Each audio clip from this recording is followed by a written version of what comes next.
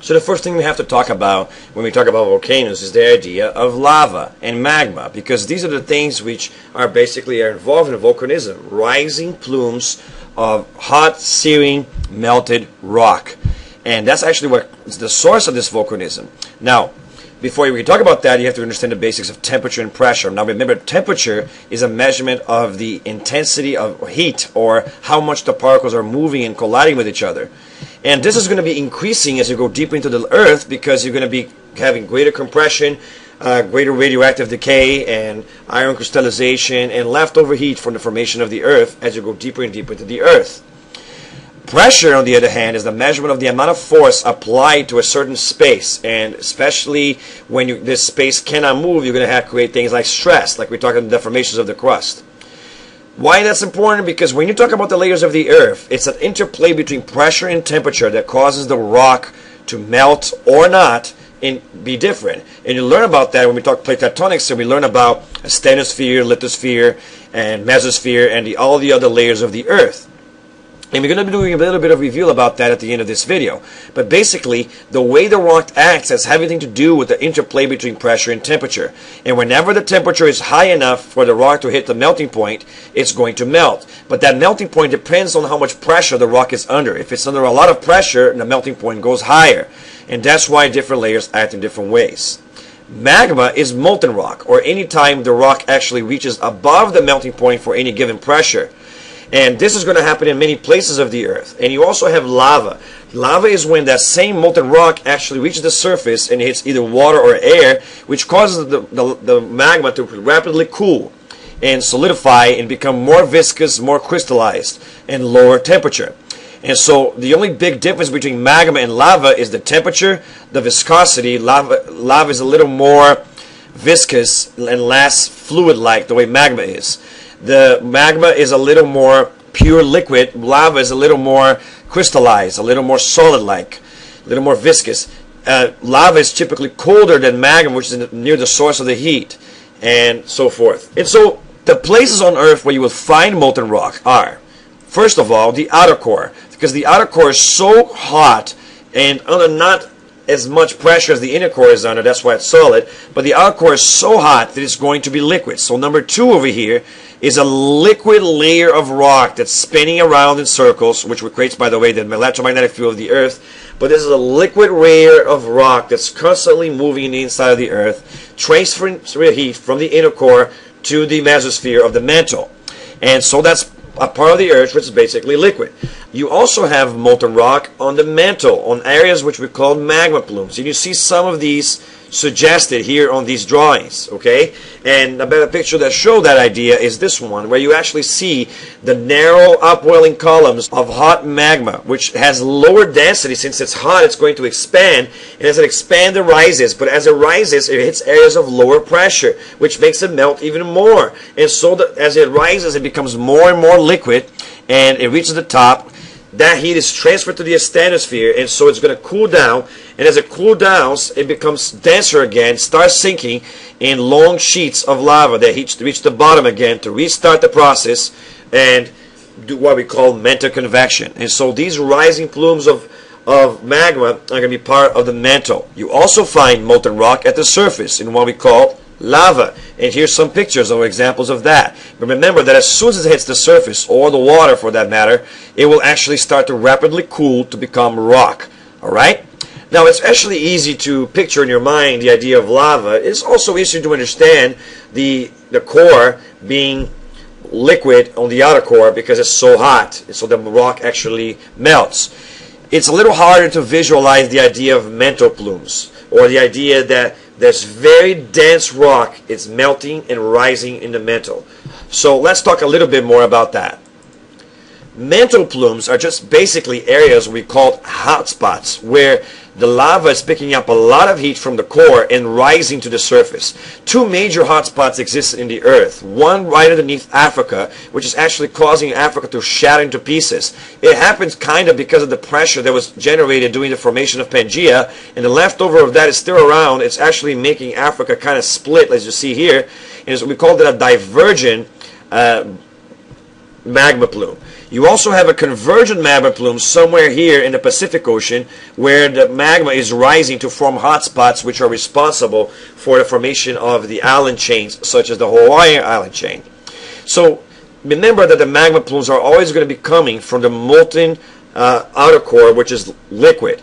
And these are going to be rising to the top. And as I said before as they rise they hit areas of lower pressure which makes the rock melt even more and increase that. And we know this happens because of topo topographical data, seismological data, the way the, the, the waves refract as they hit the, the inside of the earth. I'm gonna be, there's another lecture series that I do that's called the Inner Earth, where it talks about the, how we know about all of these things. You should watch it if you want to learn more about this topic. Now, the hotspots idea is that idea that if you have this rising plume of magma underneath the crust, it will punch through the crust, melt the crust, and form volcanoes. Or, and usually they are shield volcanoes in the middle of the ocean, which creates islands such as Hawaii. Uh, large island chains, which then get eroded into guyots and form these big chains in the middle of the ocean. You have that as the Hawaiian chain in the Pacific, as well as the Emperor Seamount chain. Both of those are created by this kind of hot, plume activity that exists on the Pacific Ocean. Another type of place that you're going to see the, this magma plume rising is on divergent boundaries, where a hot layer of lava, like I said in the previous video, going to be rising, melting through the crust, pushing the crust up, causing an uplift, making the crust thinner, and eventually cracking through the crust and, and creating new crust in between, like we talked about. And this is happening because the crust is spreading because of the mantle convection, slab pull, ridge push. We talked all about this on plate tectonics lecture series. And this is another place you find magma. A little less obvious is going to be magma formation near the surface. Magma formation that does not have anything to do with outer core heat. But basically, it's actually formed because of a subducting plate. If you actually look at the lithosphere in a subducting plate, you will see that normally, especially if this lithosphere has water on top of it, such as an ocean versus ocean or ocean versus continent co collision. In this case, you see an ocean versus continent collision. That wet lithosphere is going to be going underneath uh, continental crust and it's going to be wetting the continental crust. When you wet the continental crust, you lower the melting point of the of the rock, makes it easier for the rock to melt, and that lithosphere then exposed to the high temperatures of the mantle and the asthenosphere that's underneath it are both going to melt and form lava. Now remember, as soon as you melt the rock, it becomes less dense and expands, it's hotter, and it rises. But as it rises, it melts the rock around it and pushes through it and create these things that we call magma intrusions or mantle plumes. And in this case, it's a mantle plume that does not necessarily come from the core. Of course, the asthenosphere is hot in the first place because of the core, but this is actually happening because of subducting plate that has water in it, which lowers the melting point of the asthenosphere, which will otherwise not be melting. Otherwise, you would expect the same thing to be happening in the middle of, the, of nowhere here. That's not helping, though. That's not happening because it doesn't have the wet uh, water that's coming along the oceanic crust. So these mantle plumes have everything to do with subducting plates. So to review, the outer core, rising plumes, and the surface, you can find molten rock. And this molten rock will rise most often in things called magma plumes, which come from the outer core heat in things which we call uh, convection cells or mantle convection. And these will cause hot spots, divergent boundaries, and along subducting plates, you have a similar process where the asthenosphere and lithosphere melt as they get wet by the uh, subducting wet oceanic crust which lowers the melting point of water and causes the same kind of process that happens because of the heat of the outer core touching the lower part of the mantle and creating those convection cells. In order for you to actually have magma or to magma to form, you, get, you have to have a situation where the melting point of the rock is being reached. Now, this will happen, for example, at the mid-ocean ridge because you have a rising, hot layer of rock rising there. It would also happen in a hot spot for a similar process and it will happen in the, in, in the subducting plate. By the way, we know that subduction is taking place underneath the ocean because if we actually measure the heat of the crust uh, along the along the surface of the Earth in the lithosphere, you will see that a subducting plate will actually go down and actually melt as it goes down, but then that that same heated material will rise again into the crust. So that's actually showing you is what will happen in this picture on the bottom here. You see? how the measure of heat flow actually kind of mirrors what's happening there. Pretty much same temperature, but as it subducts, it becomes hotter. rises again. So you see the same kind of curve that you see in the top there. So this pattern of heat flow is actually evidence of subduction alongside with earthquake seismological data which we discussed in the previous chapter. So in order for magma to form, you have to have specific conditions being met. First, you have to have a rock that's hot enough to rise above the melting point of the minerals which make up that rock. Usually this happens between 800 and 1900 degrees Celsius depending on what kind of minerals are part of the rock. Also, remember that at higher pressures, it's going to take more heat to make the rock melt. And the idea for that, it makes sense.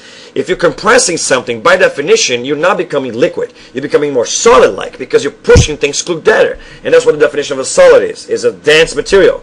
So if you add pressure, you make things solid-like.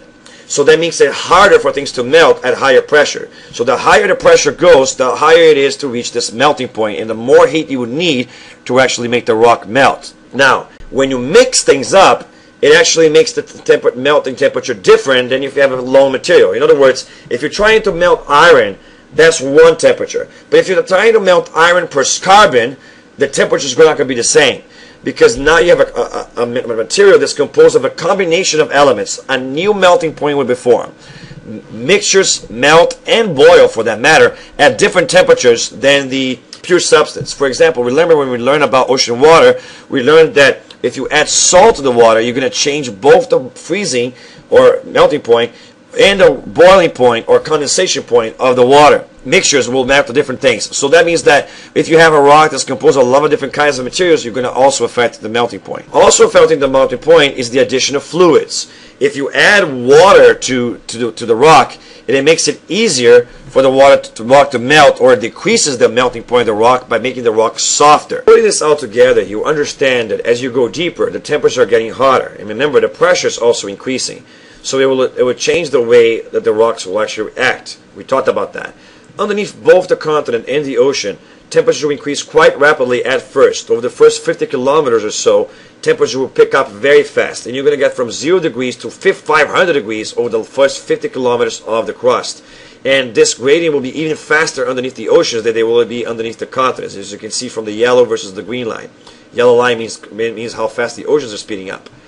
Once you get around 50 degrees, there's a transition zone in the continents where the temperature stops picking up as fast as it did before, and it was it will still pick up quite fast, but not as fast as it did before. And underneath the the oceans, the temperature will continue to pick up quite fast, and it will warm up very very fast. But then it will hit a point around 75 kilometers deep, where the temperature will stop picking up as fast as it did before, and will kind of level out. And from that point on, it will actually slow down quite a lot and not increase as fast as it was increasing before. If it did increase as fast as before, you would actually have the core having to be a lot hotter than it actually is. And part of the reason why this is not increasing as fast as you would think is because of the way the pressure is under and because the materials are changing and becoming denser as you go into the deeper into the earth, into the earth and so it's becoming harder and harder for the temperature to increase and for the materials to actually melt. Notice that after the first 150 kilometers of, of the lithosphere, rock does not really tend to melt much. It might become a little more plastic-like at the, at the point you get to 100 kilometers deep. You're already hitting the asthenosphere here, but it won't necessarily melt. It, it actually won't melt at all uh, until much deeper than this when you hit when the green line and the yellow line somewhere down all the way down are going to actually hit this line here complete because you see this, these blue lines are representing the, the points at which the rock will start to crystallize and becoming a little more liquid-like. And the second blue line is where it actually melts. Notice that this will happen between 900 and 1900 degrees depending on the circumstances. Complete melting of rock though typically doesn't happen until you reach at least 1700 degrees or so. Alright? Now, notice that this will not happen at the first 150 kilometers of, of the of, of the Earth in in general. There is one point at the oceans where rock will actually melt, start to melt, but then the it actually will slow down a bit, and you you will not actually get the pressure will increase a little bit more, and the, rock won't melt again as it goes deeper from that point. So that's actually a very interesting line around deep under the oceans only, where the rock kind of melts. And that's what we consider the new layer of the mantle that we call the asthenosphere. That's the transition point of the asthenosphere right there when you have the area where the rock kind of melts, but not really. but then it becomes denser again as you go below that.